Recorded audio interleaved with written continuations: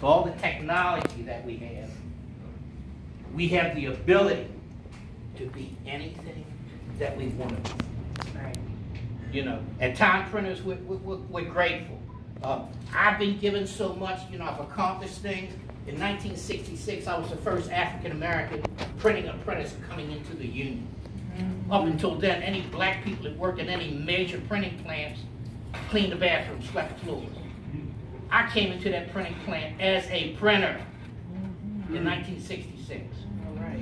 In 2009, I became the first African American chairman of the board of a major print trade association in the country.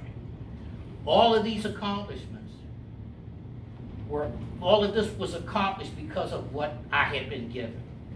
To much is given, much is required. Okay? So I, am just so grateful that I have this, this award. Uh, we're going to continue to do what we do at Time Printers. You know, we talk about good, better, best. Well, it's good to be better, but nothing beats being the best. And that's what we try to do every day. And thank you so much, Doni. Thank you. Yes, sir. Thank yes, you. sir.